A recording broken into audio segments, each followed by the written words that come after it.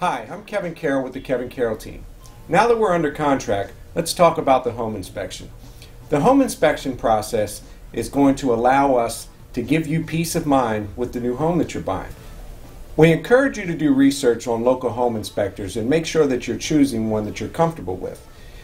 If you'd like our help, we have a list of inspectors that we work with on a regular basis, and we can provide you with that as well.